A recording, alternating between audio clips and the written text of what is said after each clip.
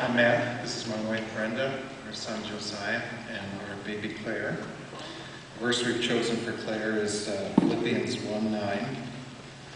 And this is my prayer that your love may overflow more and more with knowledge and full insight to help you to determine what is best, so that in the day of Christ you may be pure and blameless, having produced the harvest of righteousness that comes through Jesus Christ for the glory and praise of God. Claire Elizabeth Joy.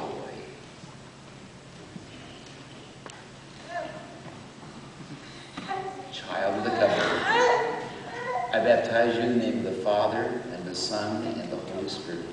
And may God bless you and keep you all the days of your life. Amen.